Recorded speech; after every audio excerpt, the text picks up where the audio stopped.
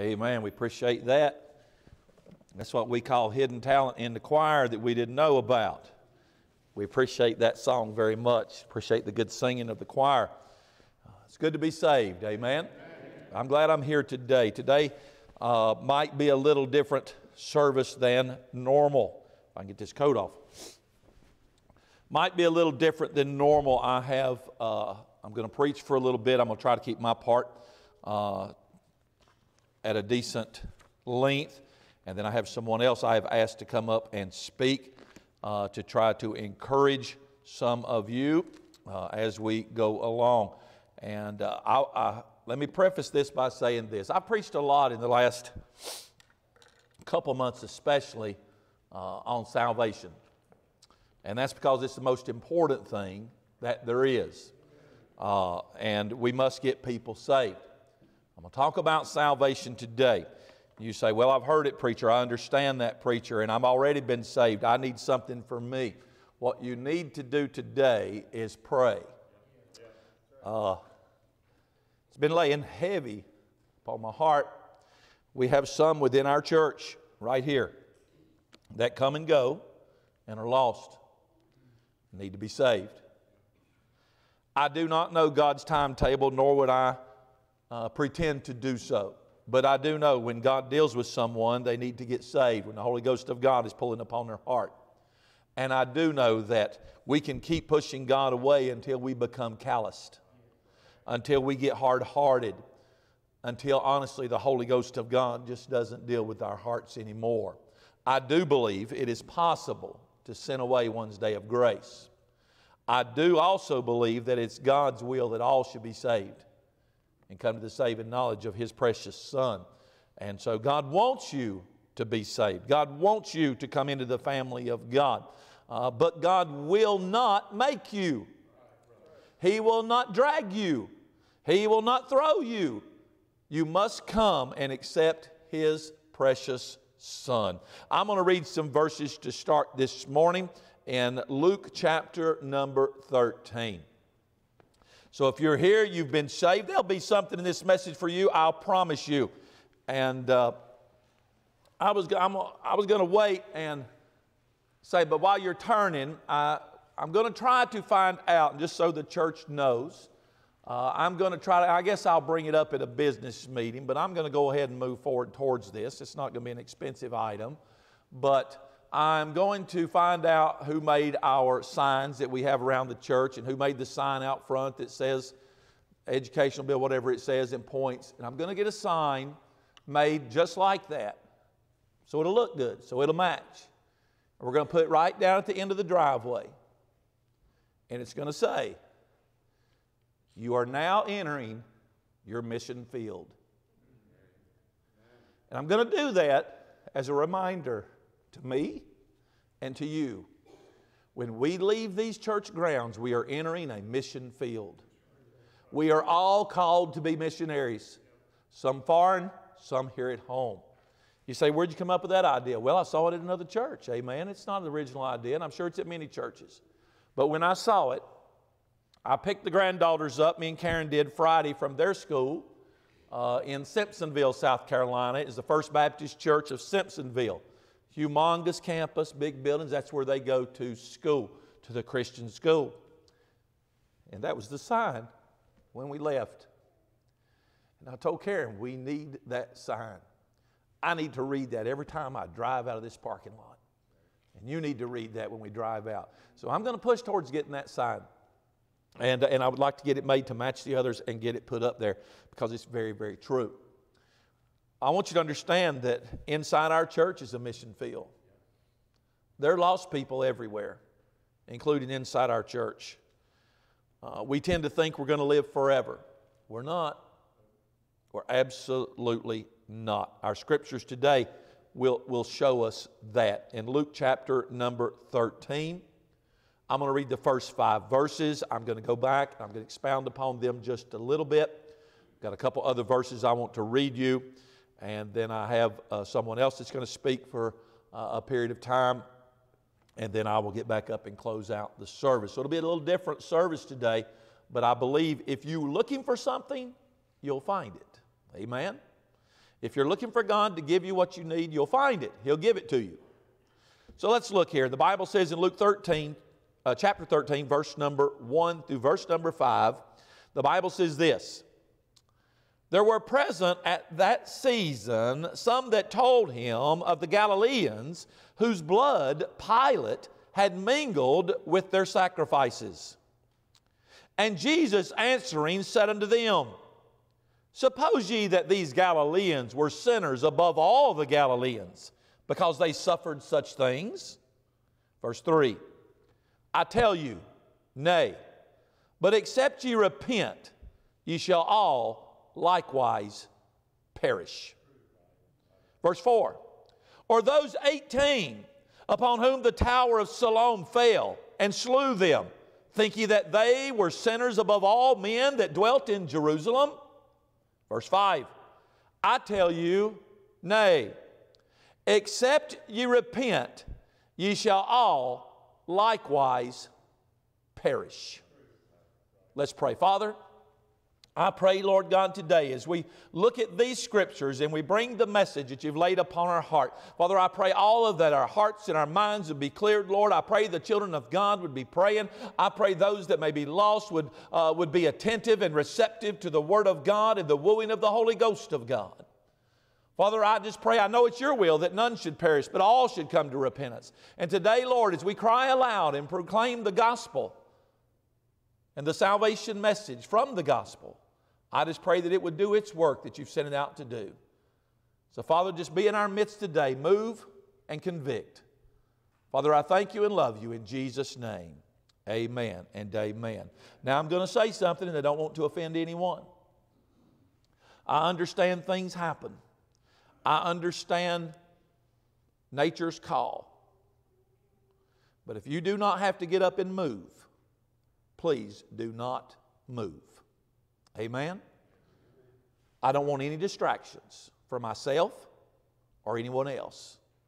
I want us to think about what's said, what God has told us in the Word of God. I want us to be in prayer, not distracted. Amen?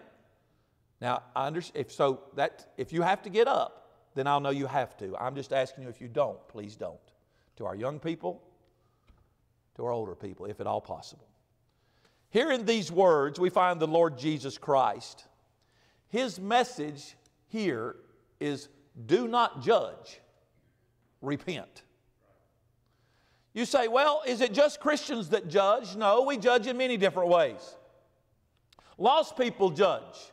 Well, how do they judge if they're lost? You know how they judge? They look at the ones that proclaim to be Christians and say, I'm as good as they are. Why do I need to change? I live as good as they do. Why do I need to change? I go to the same restaurants. I go to the same grocery stores. I do the same things. My language is the same. I dress the same way. I act the same way outside of church. Why do I need to change? They are judging you and they are, are they are reflecting their choice of salvation upon you. Right or wrong. I'm just you are their Bible. You are their Bible. They're watching you. That's not the premise of my message. I'm just saying the, the, Lord Jesus Christ is telling these that I believe were Jews, He is telling them not to judge, but repent. What the Lord Jesus Christ is saying is we need to spend more time looking at the man in the mirror than we do down the pew.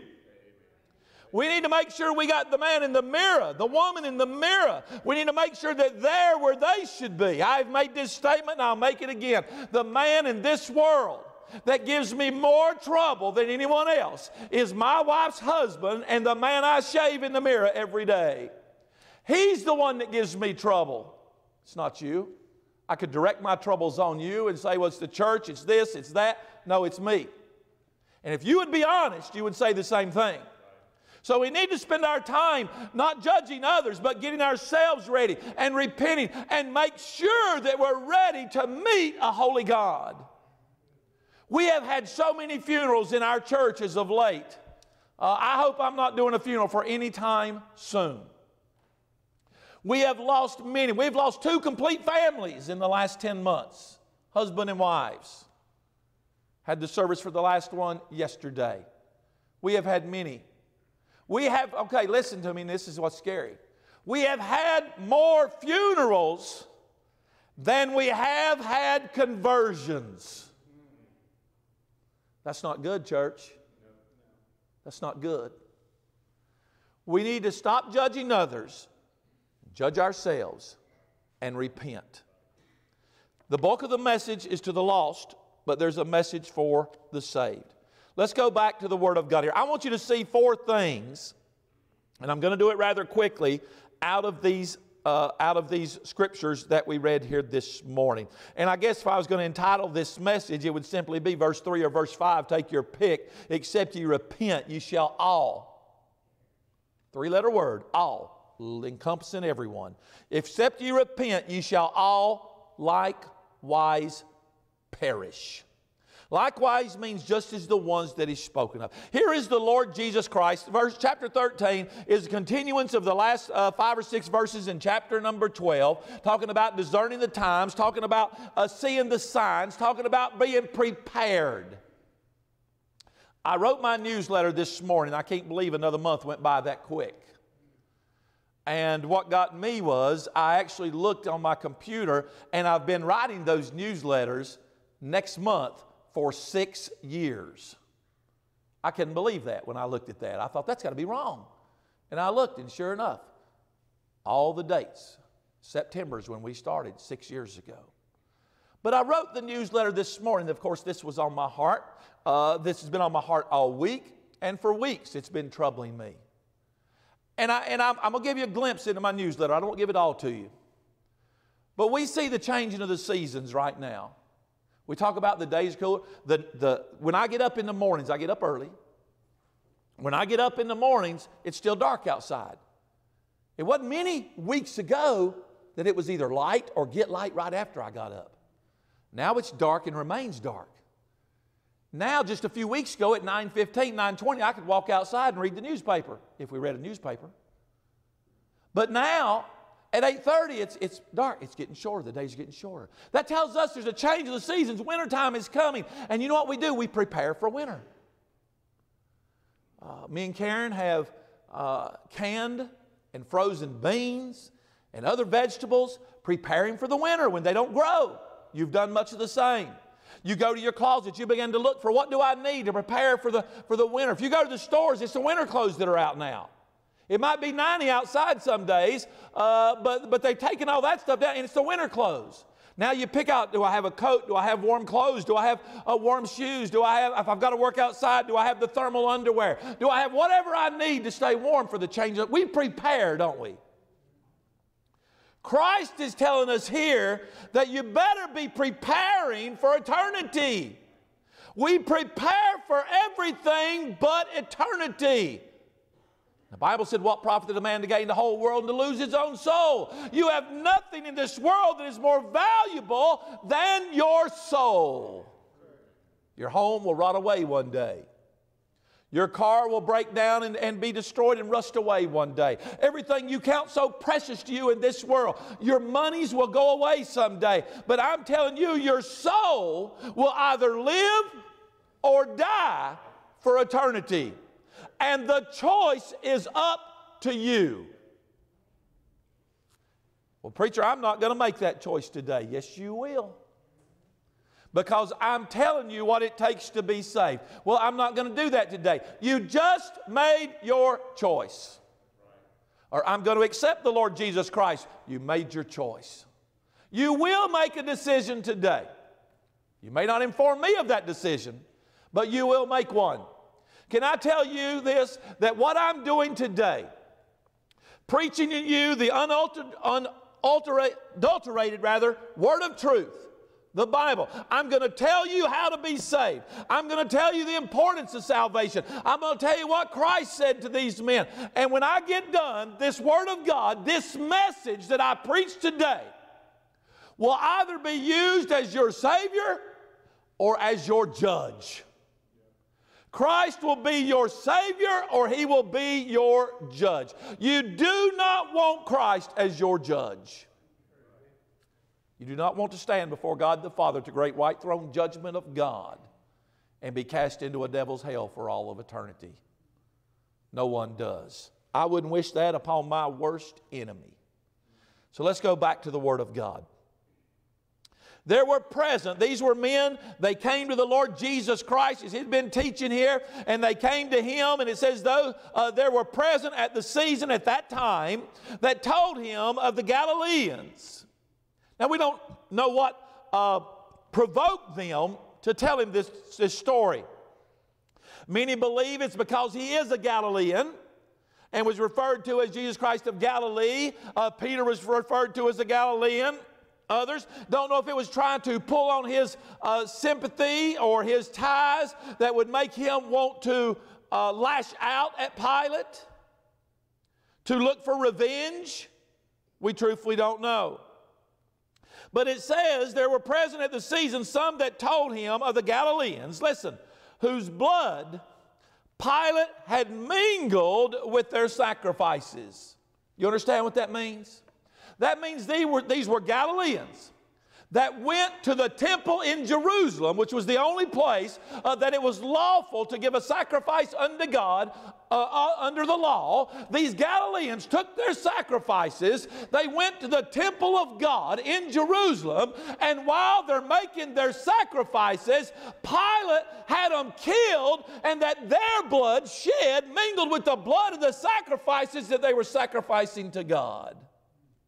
They were in the middle of a holy act. They were in the middle of fulfilling God's law as written in the Old Testament. These were not, uh, they were not out robbing, stealing, murdering. These men were in the temple of God giving sacrifice. And this is the only record we have of this. We don't even have a historical record of this or the next account. But they were making sacrifice, and Pilate, maybe because of Herod, there was a, a dispute between Pilate and Herod. And the Galileans were under the rule of Herod. But you could read, and I forget which chapter it is in the book of Acts, that after these things, many, many believe that it's referring to this, I don't know that. Uh, after these things, they became friends again. Friends again. So, but anyway, the Galileans whose blood Pilate had mingled with their sacrifices. Now I want you to look verse 2 says, And Jesus answering, now they just told him of the account of these men being slaughtered in the temple of God, making their sacrifices, and, and they were slaughtered by Pilate's men. They just come and told him the account. They didn't ask him nothing else. I don't read a question, anything. But Jesus knew the intent of their heart. Jesus knew what they were thinking. And look what they were thinking. And Jesus answering said unto them, Suppose ye this means this is what they're thinking. Suppose you that these Galileans were sinners above all the Galileans because they suffered such things. You see, these men that come with this great report to the Lord Jesus Christ of what had happened, it wasn't uh, saying that it's a tragedy that your people uh, this. No, what they were saying is these men apparently uh, were terrible, terrible sinners, so much so that God judged them and had them killed while they were making sacrifices. Is it not easy for you and I to just assume the very worst right off the bat? These men were making sacrifices. You would think you would assume that they were right with God, that they were doing what they were supposed to. They'd come to the house of God, they were making sacrifices according to the law. Uh, these were religious men keeping the rites of, those, of the rites, R I T E S, of those days. But yet, no, these men just assumed the worst. Church, we're guilty of the same thing. Amen? We know lost people. We see lost people come to our church. We run into lost people or save people. And why is it we assume the worst? I had this in depth conversation this week with someone about assuming the worst. And I know I've told most of you the story, some probably haven't heard it, but a good friend of mine in the mountains pastored a very small church. He was the custodian at the high school. I've known him, I've known him for as long as I can remember, probably 40 plus years now. He was a, a custodian at the high school. He was the basketball coach at the high school for the girls' basketball team. One of the girls made an accusation against him that he approached her and touched her wrongly. He said, I didn't do anything. You know what everybody else did? They convicted him in the court of public opinion. They marred his name. Fortunately, his church stood behind him. They wouldn't let him resign. He was going to resign. They wouldn't let him resign until everything washed out. So, as this progressed, the girl finally comes home to mom and daddy and says, I lied. He didn't do any of that. I got mad because he didn't let me start at a blatant lie and told it on him. But I'll promise you this to today, there are still people that would see him and say, He's the one that got accused. He did nothing wrong. We judge when we should look at ourselves and repent. Saved people judge, lost people judge. Christ says here that we need to repent, not judge. These men were judging those that came to the altar of God, that were sacrificing, that Pilate had killed. Their blood mingled with the blood of their sacrifices on the altar of God. They were judging them. Jesus said, So you think they're, they're uh, sinners, that these Galileans were sinners above all the Galileans because they suffered such things. Christ goes on to tell us one more story, and then I'm going to give you my four points real quick. He said, I tell you, nay, but except you repent, you shall likewise perish. Verse 4. We have no other account of this either. We have no history, but we have it from the Lord Jesus Christ. Or those 18, gives us an exact number, of those 18 upon whom the tower of Siloam fell and slew them. Think ye that they were sinners? Listen, above all that dwelt in Jerusalem. That's why I believe he was talking to, the, talking to Jews here. Now he brings it back around to them. All right, yeah, you brought up the Galileans. But what about what happened to these Jews when 18 of them were killed? Now, many believe that the Tower of Siloam was, the, uh, was connected to the porches at the Pool of Bethesda or the Pool of Siloam you know, where they would come and, and the angel would come and trouble the waters. And there was the man of 38 years that laid there. And he said, Every time the angel comes, trouble the waters, I try my best to get into the waters, but someone always beats me there.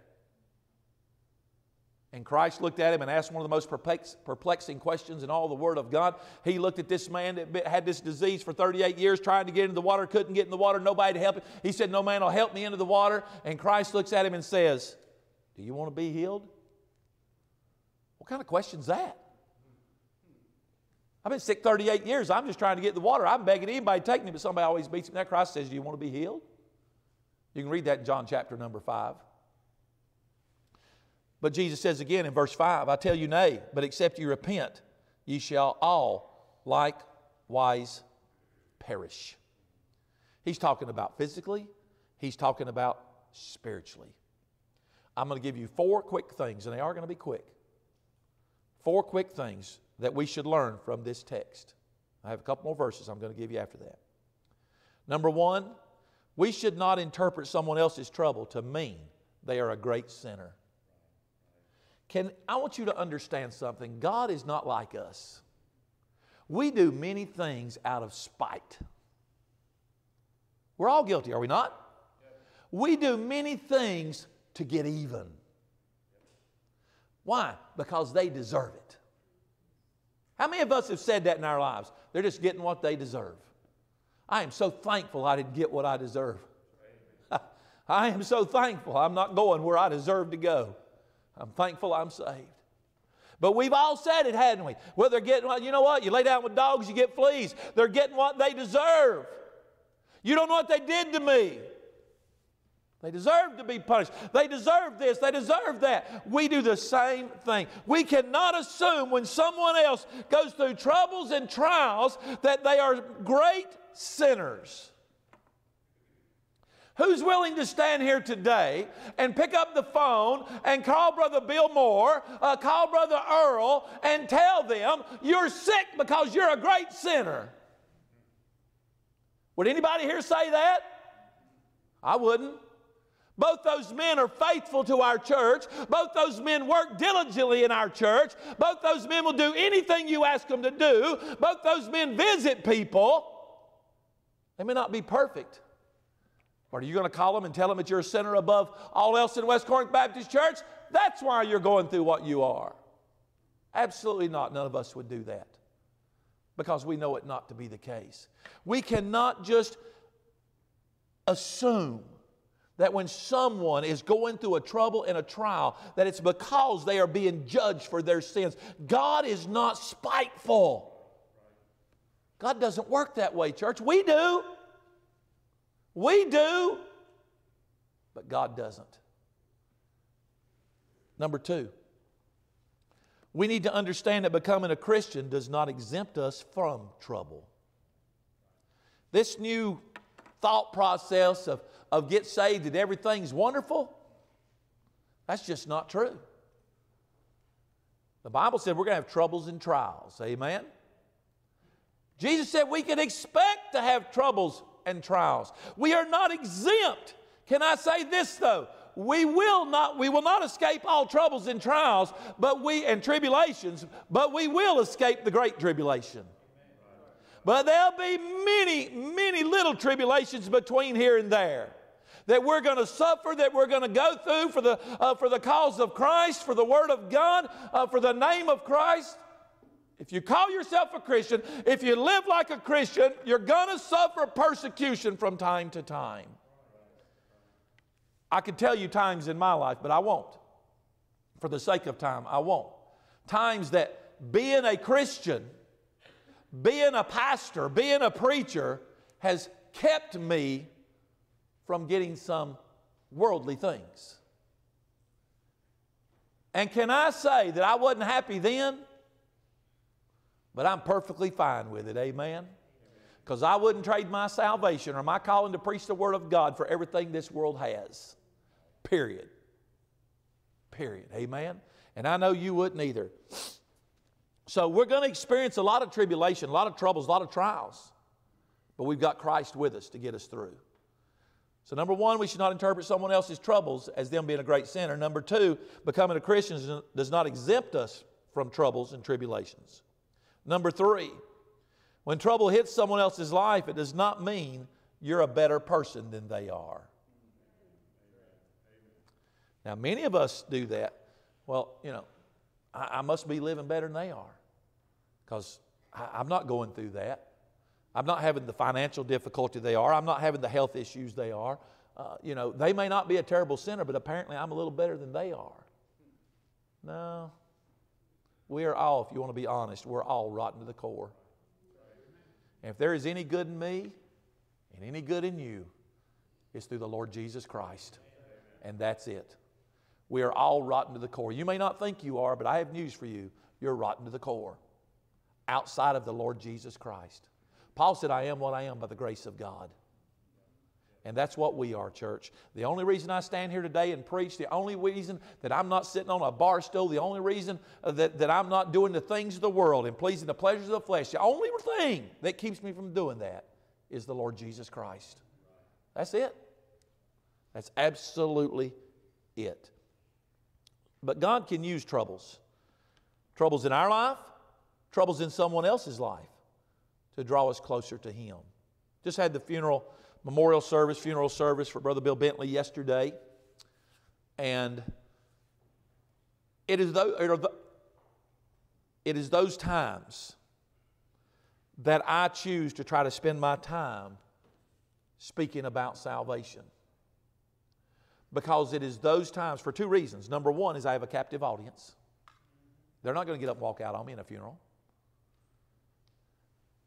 Number two is I may never speak, maybe it's three points. Number two is I, I may never speak to some of them again.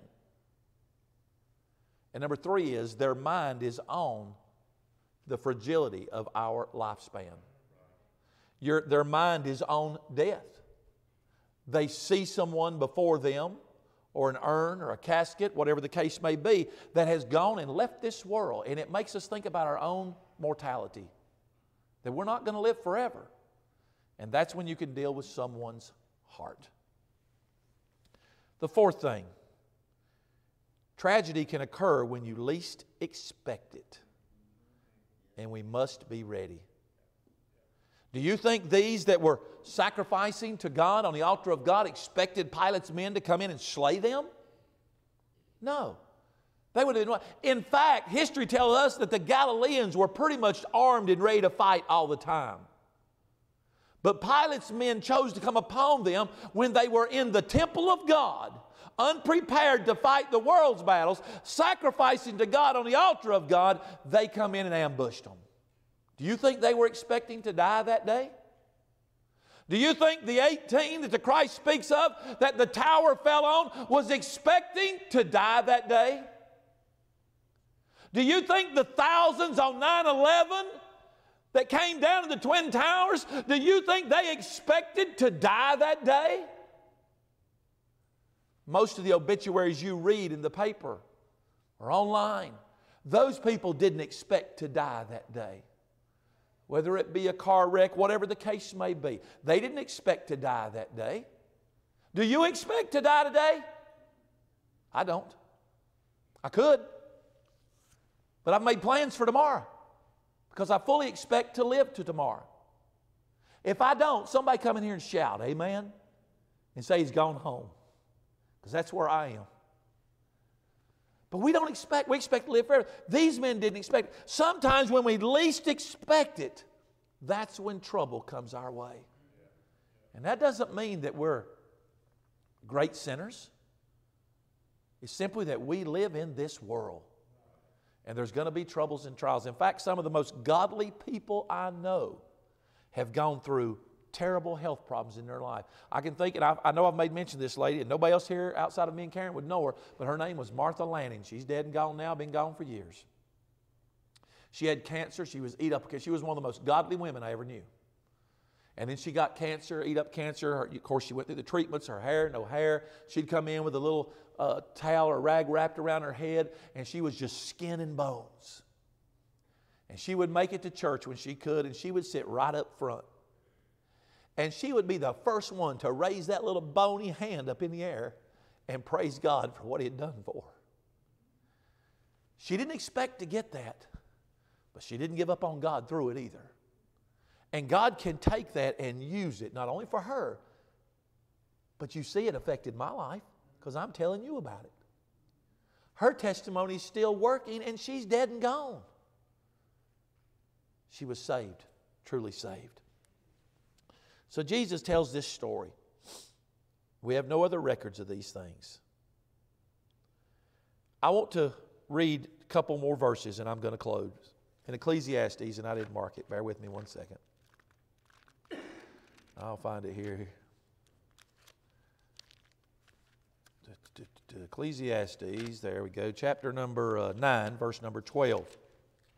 I forgot to mark it, my apologies.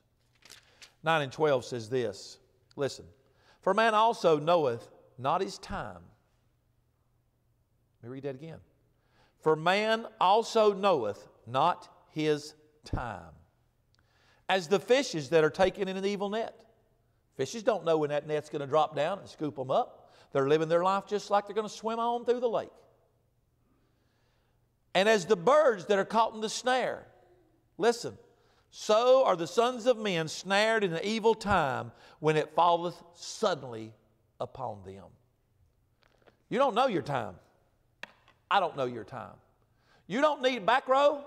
You don't need to assume because you're 12, 13, 14, 15, 16, 18 years old that you've got next week. Young people bury all the, we bury young people all the time. I've presided over many myself. We see it all the time.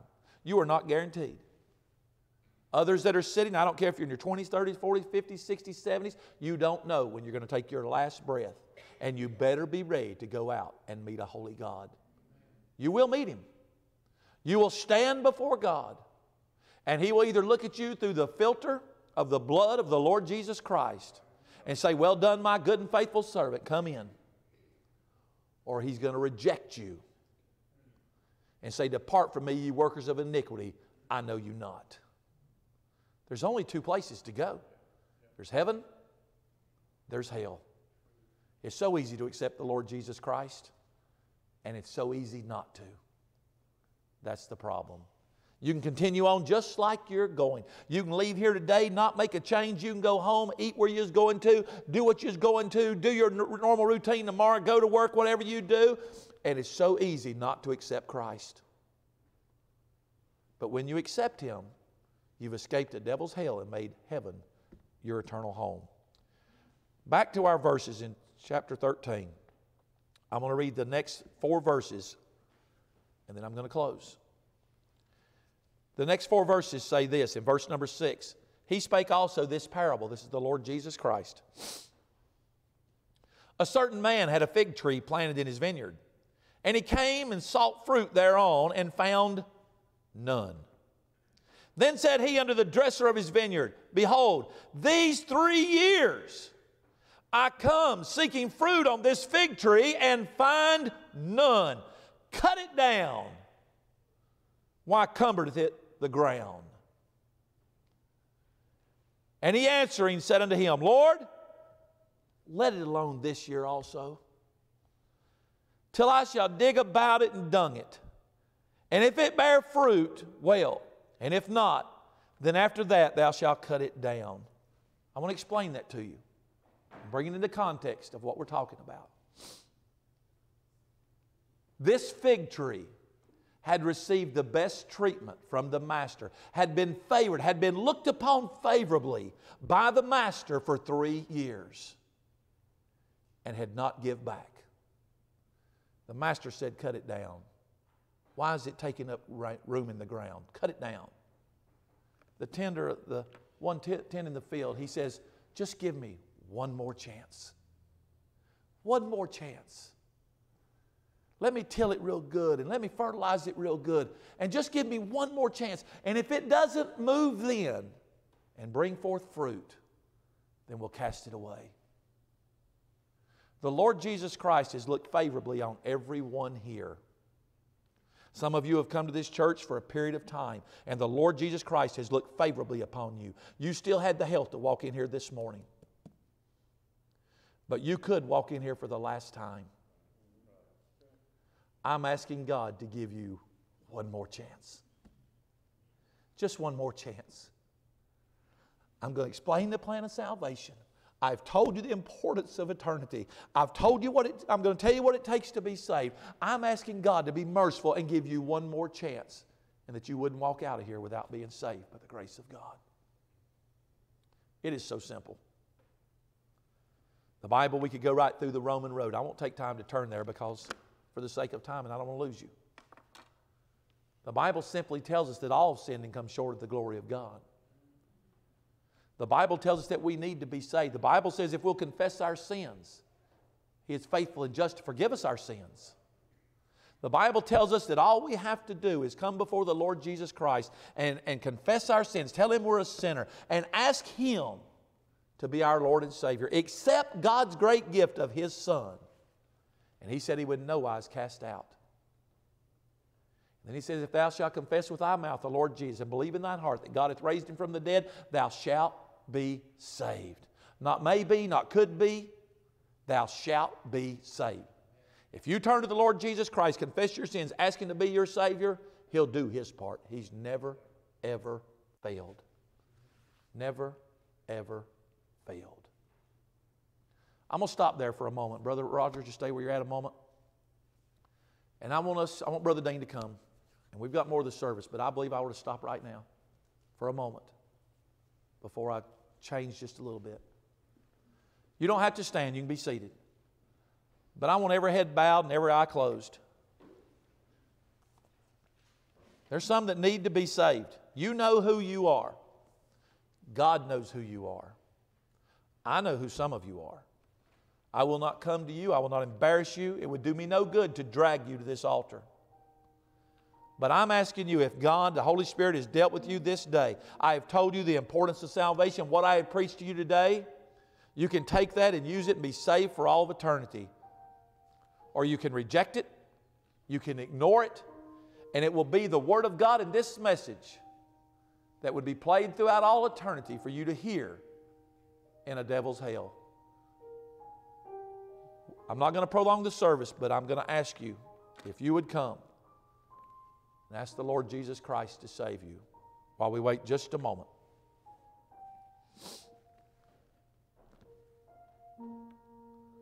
While we wait just a moment.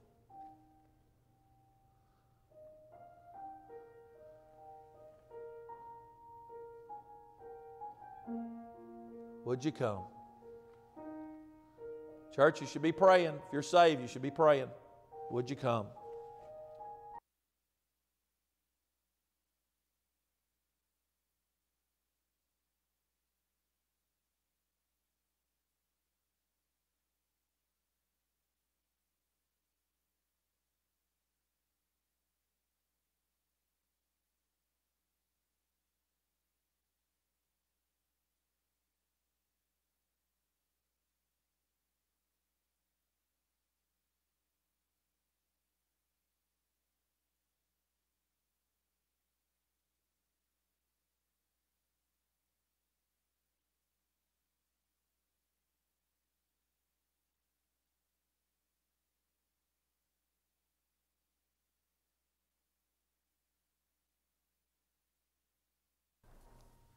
God may be moving for the last time. I don't know. I wouldn't pretend to say so, to know God's will. But I don't want anybody to leave and fall out, that go out of this church, out from under my ministry, and die and go to hell. It will not be because I haven't told you the truth. Amen. I want you to continue to think. If you're lost, I want you to continue to think. Come find me if you would. But I want to, to end this service with some encouragement for those of our church, and uh, I don't want to embarrass anyone. That's not my